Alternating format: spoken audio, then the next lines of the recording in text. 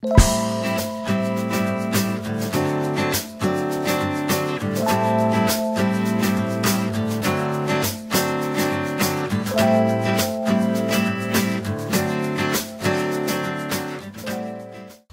gente, hoje eu tô aqui com o João. Ele é o responsável pelo Espaço Canto do Rio, que vocês já conhecem porque vocês viram que coisa maravilhosa, que lugar super especial que a gente gravou a websérie.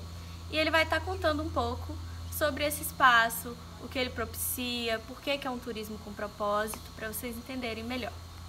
Bom, gente, então, o Espaço Canto do Rio, ele tem a ideia de ser um turismo com propósito. E aí, quando a gente fala em turismo com propósito, as pessoas perguntam o que, que é isso, né?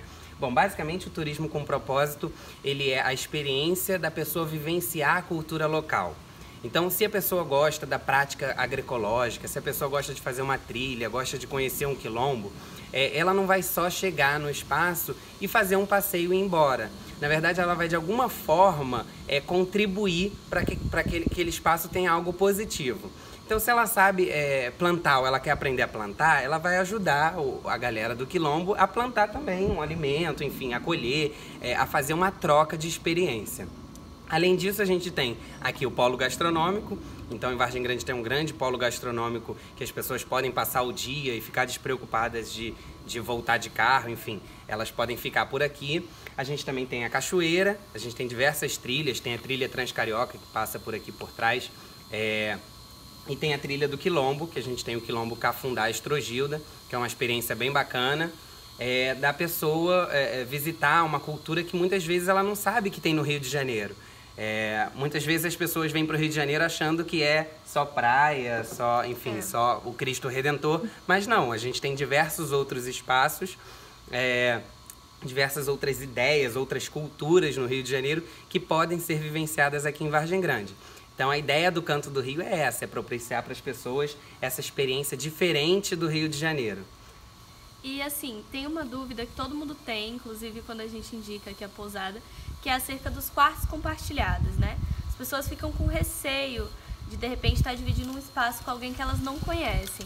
Mas como o João já falou, esse é um espaço de troca também. Vocês vão conhecer novas pessoas. E os quartos, por exemplo, tem quarto que cabem cinco pessoas.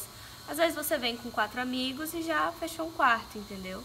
Verdade, a gente tem duas opções de quartos, né? A gente tem tanto o quarto de casal, para aquela pessoa que gosta de ficar no reservado, enfim, pode trazer um filho, pode trazer uma criança, pode ficar no quarto é, privativo. E a gente também tem outros dois quartos é, compartilhados.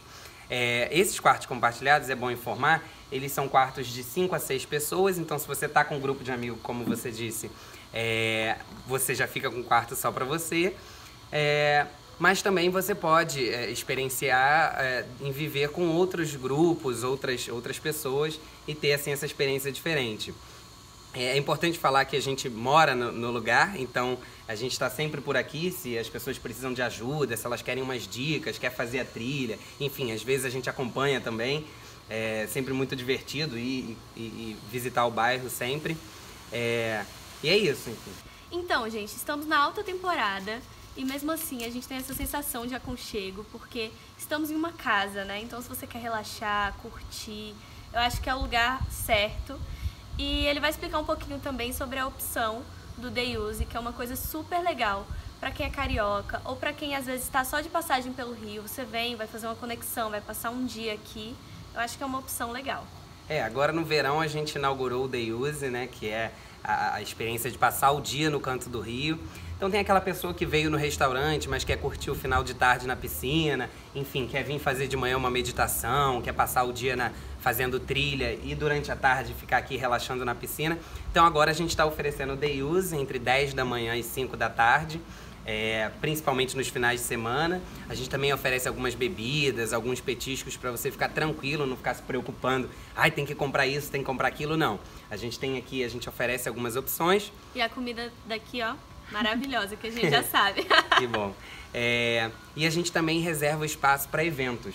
Se vocês precisarem é, de algum espaço para evento corporativo ou para um pequeno churrasco, uma pequena confraternização, esse é o espaço ideal para vocês. Vocês podem curtir a piscina durante o dia, pode fazer um evento à noite, enfim, o espaço é totalmente de vocês.